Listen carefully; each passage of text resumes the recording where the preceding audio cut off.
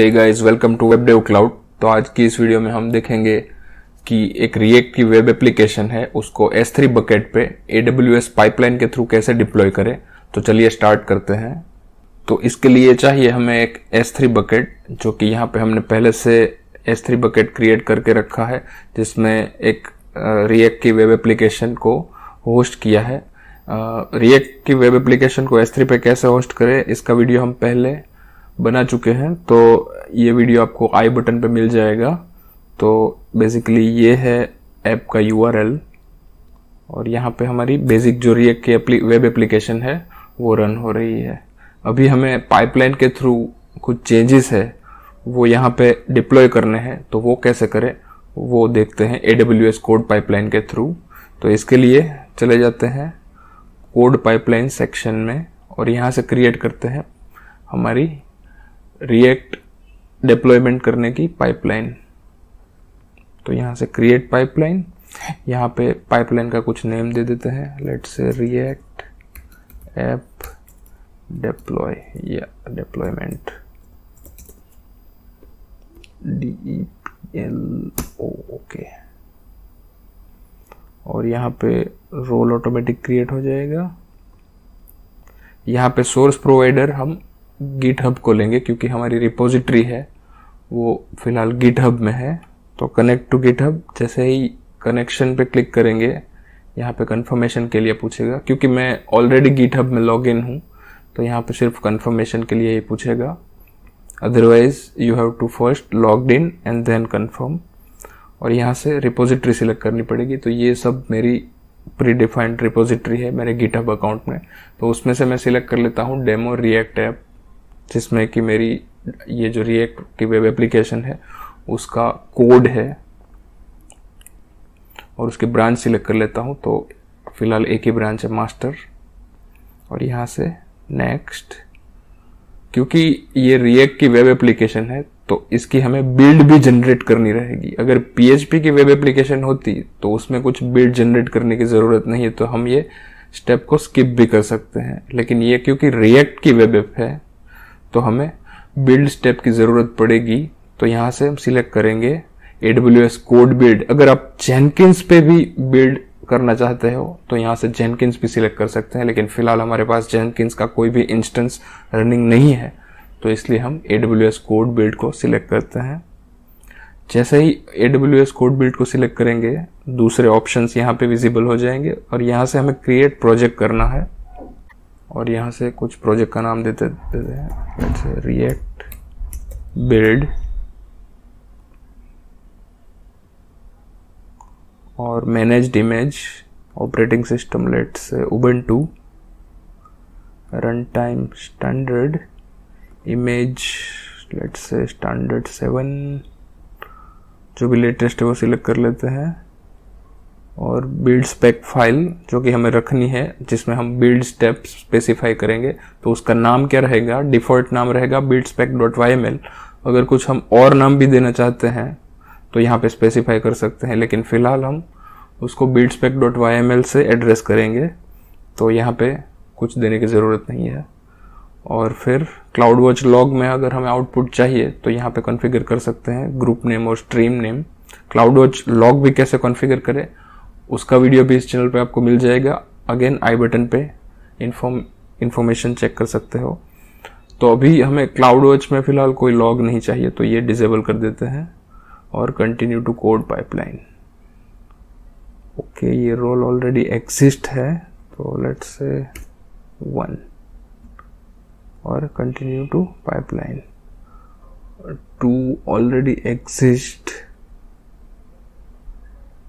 यहाँ पे कुछ पॉलिसी का लफड़ा है।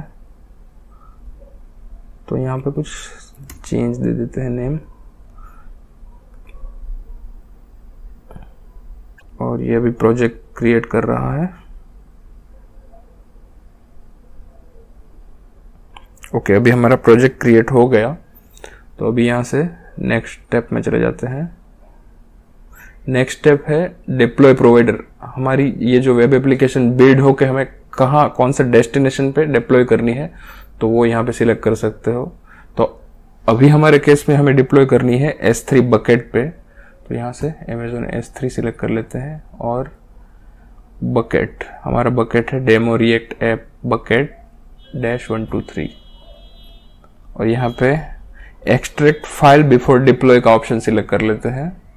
क्योंकि हमें सारी फाइल्स और फोल्डर S3 के रूट में चाहिए जिप के फॉर्मेट में नहीं चाहिए, क्योंकि हमारी वेब एप्लीकेशन है, वो S3 पे होस्टेड है। तो इसके लिए यहाँ पे एक्सट्रैक्ट फ़ाइल बिफोर डिप्लॉय और क्लिक ऑन नेक्स्ट ओके ये हमारी पाइपलाइन है, वो क्रिएट होने के लास्ट स्टेप में है। और यहाँ पे पाइपलाइन क्रिएट हो रही है। अभी हम एग्जीक्यूशन को स्टॉप कर देते हैं। स्टॉप इन अबेंडेंट ओके तो यहाँ पे आप देख सकते हो ये हमारी रिपोजिटरी का स्ट्रक्चर है। ये माई ऐप है वो रिएक्ट की वेब एप्लीकेशन है। इसके अंदर इसका सब कोड है। और यहाँ पे रूट में माई ऐप के पैरल में हमें अपनी build spec dot Y M L file रखनी है। Build spec dot Y M L में क्या लिखना है वो मैं स्टेप बाय स्टेप यहाँ पे एक्सप्लेन कर, करूँगा। तो ये है build spec dot Y M L ये आपको इंटरनेट पर से इसका सैंपल मिल जाएगा। तो अभी हमें एन एनपीएम के थ्रू इसकी बिल्ड क्रिएट करनी है। तो इसमें रन टाइम वर्जन होगा नोड जेएस 18 तो ये जो नोड जेएस है एन एनपीएम 18 वो पहले से बिल्ड के स्टेप में इंक्लूडेड रहेगा। और प्री बिल्ड स्टेप में हम क्या करेंगे कि हम माई ऐप के फोल्डर में जाएँगे। बेसिकली ये जो हमारी रिपोजिटरी का स्ट्रक्चर है उसे हम देखें तो माई ऐप के अंदर ये जो कोड है उसके अंदर जाएगा। फिर इको तो सिर्फ़ प्रिंटिंग के लिए है और वहाँ पे जाके एनपीएम इंस्टॉल करेगा ताकि जो भी नोड मॉड्यूल्स है वो सब क्रिएट हो जाए। नोड मॉड्यूल्स क्रिएट होने के बाद नेक्स्ट स्टेप आएगा बिल्ड का। वहाँ पे जो बिल्ड का कमांड है रिएक्ट नेट सॉरी रिएक्ट की वेब एप्लीकेशन बिल्ड करने के लिए जो कमांड है, एनपीएम रन बिल्ड, वो एग्जीक्यूट करेगा। ताकि उसके अंदर बिल्ड डायरेक्टरी जनरेट होगी और उसके अंदर हमारी जो बिल्ड्स की जो फ़ाइल है, वो सब रहेगी। तो ये सारे स्टेप्स है, वो कुल मिला के क्या करेंगे? पहले स्टेप्स में नोड इंस्टॉल करेंगे, उसके बाद माई एप्लीकेशन में जाएँगे, वहाँ पे एनपीएम इंस्टॉल रन करेंगे। एनपीएम इंस्टॉल रन करते ही नोड मॉड्यूल्स और उसके अंदर सारे पैकेजेस क्रिएट हो जाएँगे। उसके बाद आएँगे बिल्ड स्टेप में बिल्ड स्टेप में आके एनपीएम रन बिल्ड रन करेंगे।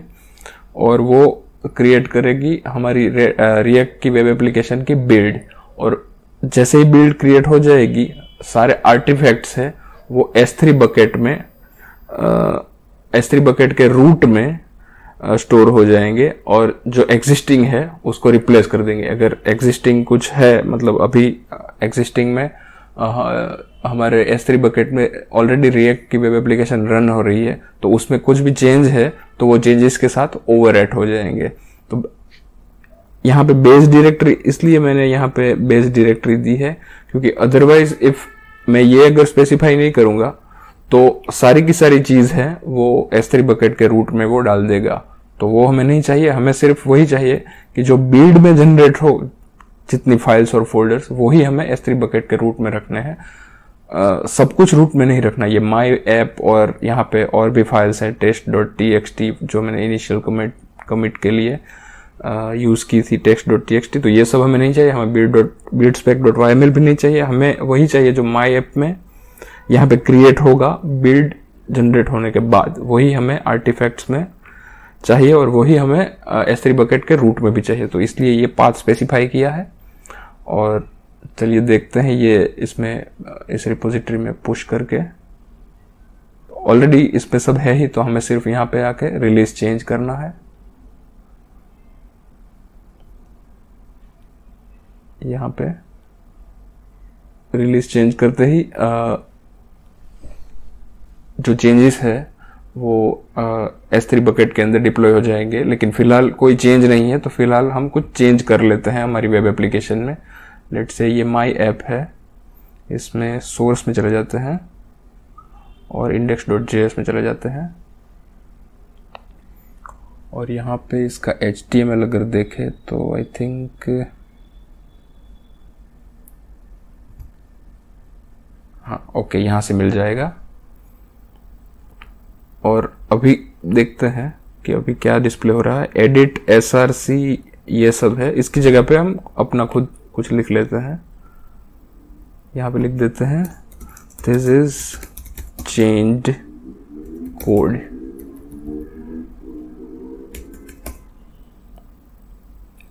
और यहाँ पे जाके स्टेटस चेक कर लेते हैं।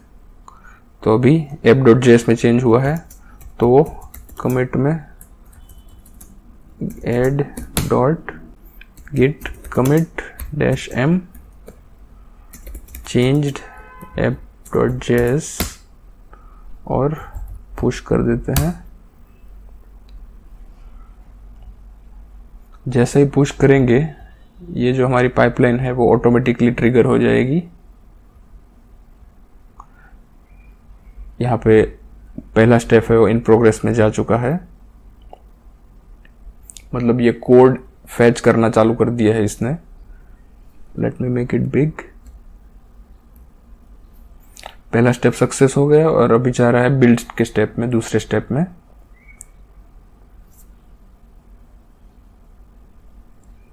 इसकी डिटेल भी आप यहाँ से चेक कर सकते हैं न्यू टैब में। यहाँ पे ये लॉग दिखाएगा कि अभी कौन से स्टेप्स में है। अगर कोई एरर भी रहती है तो यहाँ पे वो स्पेसिफाई कर देगा कि फेल्ड और यहाँ पे कंटेक्स्ट में रीज़न भी आ जाएगा कि कौन से रीज़न से फेल हुई है। अभी इन प्रोग्रेस है।